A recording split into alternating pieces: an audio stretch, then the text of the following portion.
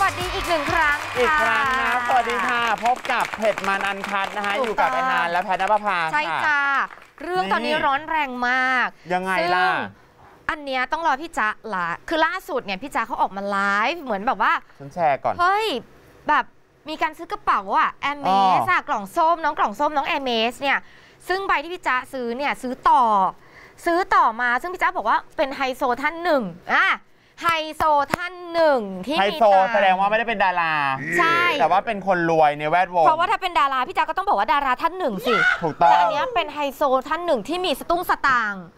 แล้วพี่จ๊ะเนี่ยก็ชอบกระเป๋าเขาก็เลยแบบว่า เอ๊ะ ขายไหมพี่เขาก็บอกว่าขายน้องจ๊ะเอาไปเลย ซึ่งใบนั้นเนี่ยเจ็ดแปดแสนเลยนะ อีกไม่กี่แสนจะล้านหนึ่งแล้วนะเจ็ดแปดแสนเลย ซึ่ง เออพอซื้อมาปุ๊บแล้วนะแล้วยังไงพี่จ๊ะก็เอามาสะพายค่ะ สะพายปุ๊บแล้วเพื่อนพี่จ๊ะก็ทักว่ามันไม่เข้ากับเธอเลยอะรอมันย่างไม่งี้ยเข้ากันเขาคงไม่กล้าบอกอะว่า มันไม่เข้าคือมันปลอมเธอ พี่จักเลยอาอาจจจะจะพูดไม่เข้าแบบอ้อมไม่เข้าฉันก็ไม่ได้ว่าอะไร งั้นฉันเอาไปขายก็ได้อ่าเพราะว่าพวกนี้มันขายซื้อมาขายไปได้อยู่แล้ว แล้วไม่ได้ว่าซื้อมาสามแสนไปขายได้เจ็ดแปดแสนด้วย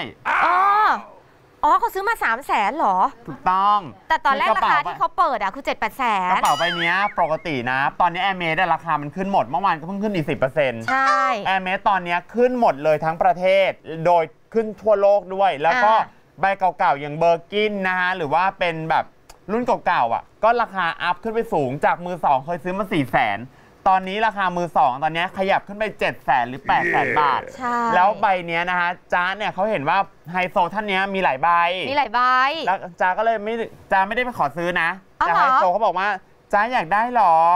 ถ้าจ้าอยากได้พี่ขายให้ต่อไหม่ล่าสามแสน ก็แสดงว่าพี่จ๊ะต้องมีการถามถึงกระเป๋านั่นแหละ ไม่งั้นอยู่ดีใช่ ๆจะมาบอกว่าอยากได้เหรอ คืออาจจะมีการถามแหละว่า เออ พี่ซื้อใบนี้มาเท่าไหร่อะไรยังไง ค่ะ แล้วพี่เขาก็เลยปล่อยให้ในราคา 3 0 0แสนเอง พอสามแสนจ้าก็ซื้อสิคะ พอซื้อเสร็จปุ๊บถือไปถือมาอ่ายังไงแล้วล่ะไม่กระเป๋าเข้ามันไม่กับใช่จ๊ะเลย มันไม่ใช่ไม่เข้าธรรมดา มันไม่ใช่ของจริง เออ แล้วคราวนี้นะ คนก็เลยไปโยงว่าไฮโซ ขับแลมโบกินี่ขายกระเป๋าให้จัสเนี่ยน่าจะเป็นนี่ไฮนี่โซนี่ม่านฟ้าโง่ซ้ำๆซากๆอันนี้คือพี่จ๊ะออกมาไลฟ์ประเด็นคือพอพี่จ๊ะบอกว่า เอ้ย เพื่อนบอกว่า มันไม่เข้ากับจ๊ะพี่จ๊ะเลยบอกงั้นเดี๋ยวฉันขาย ปรากฏเอาไปร้านแรกค่ะเขาก็บอกว่า ปลอม เอ้ย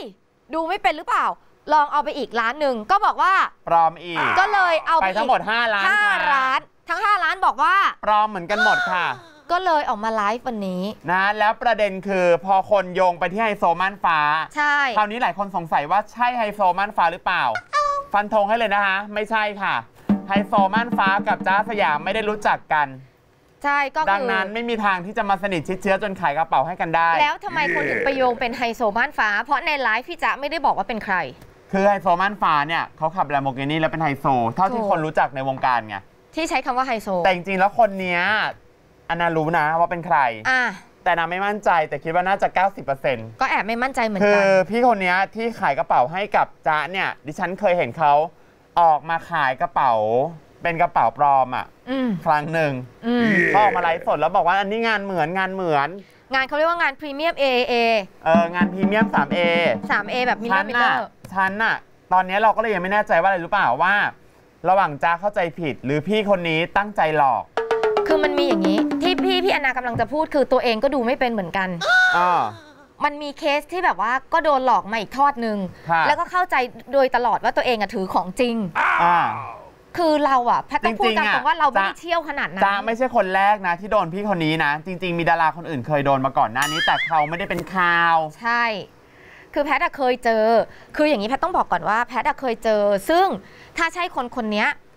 แพทย์แพทย์ก็เคยเอ่อ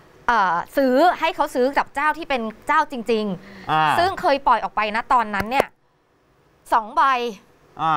สองใบแต่ว่าไม่ได้ซื้อกับแพทย์แต่ซื้อกับร้านที่แพทย์ซื้อประจำอ่าเป็นสีดำค่ะ เบอร์กินอ่าสองใบอะไหล่ทอง แล้วเขาซื้อมาตอนนั้นน่ะ อยู่เท่าไหร่เองอะแพทย์จำราคาไม่ได้แล้วสี่ห้าอะแสนมะไม่สมัยมืก่ออนหนึ่งมือหนึ่งอ๋อมือหนึ่งเหรอมือหนึ่งร้านเหรอเป็นล้านครับ มือหนึ่งก็จุกจุกเป็นล้านครับ แล้วก็ เขาซื้อกันไปปรากฏว่า โทรมาถามว่าของปลอมหรือเปล่าแพทย์ถามว่าเอาอะทำไมถึงคิดว่าเป็นของปลอมทำไมถึงมีผ้ารองอันนี้แล้วทำไมอันเนี้ยอ๋อโอเค ดูไม่เป็นจบแพทย์บอกว่าเอาไปที่เช็คที่ร้านได้เลย ถ้าคิดว่าของที่เอาไปอะเป็นของปลอม แพทย์เลยสามารถพูดได้ไงว่าบางทีอะไฮพี่คนโซนี้อาจท่านจะไม่นั้นรู้อาจจะไม่รู้ก็ได้ว่าของที่ตัวเองซื้อมาในราคา 7 0 0 0 0 0 5 0 0 0 0 7 0 0 0 0อะไรเนี่ย ของจริงหรือปลอม แต่พี่คนนี้เป็นคนซื้อของง่ายมากเลยนะ พี่ที่บอกว่าเป็นไฮโซที่อ่า นาไปหลอกจ้าเนี่ย เป็นคนซื้อของง่ายซึ่งมากคนเลยนะเนี้ยที่เราสงสัยแค่สงสัยนะคะ อ๋อเพราะก็เป็นอีกหนึ่งคนที่ขับแลมโบ แลมโบอยู่ในแก๊งแลมโบเลยแหละ ซึ่งอะแพทย์ไม่ก็ได้ต้องขับพูดแลมโบตามนะ อยู่ในแก๊งแลมโบกินี่ถูปกระเทศไทยเลย เพราะเขาขับตัวพิเศษด้วย ใช่อุ้ยแรงเดี๋ยวเขารู้กัน ใช่โอเค ไม่บอกแล้ว พอแล้วจบ อะจบข่าวจ้าถูกต้องค่ะไปข่าวอื่นต่อเลยตอนเนี้ยค่ะไม่ตอนเนี้ยประเด็นคือรอพี่จ๊ะออกมาพูด เพราะว่าไฮโซจริงๆม่านฟ้าเขาบอกว่าขอร้อง ตอนเนี้ยไฮโซม่านฟ้าเนี่ยถูกเอามาโยงพโยงปุ๊บอะเขาบอกว่ามีผลกระทบกับหน้าที่การงานและชื่อเสียงที่เขาสร้างสมมาค่ะกลายเป็นว่าคนจะไปมองว่าของที่เขาถืออะปลอมไม่ปลอม หรือเธอเป็นหลอกลวงหรือเปล่าแล้วเขาไม่ใช่เขาบอกเขาม่านฟ้าทำงานเพื่อสังคม ค่ะ ไม่ใช่ม่านฟ้าการันตีร้อยเปอร์เซ็นต์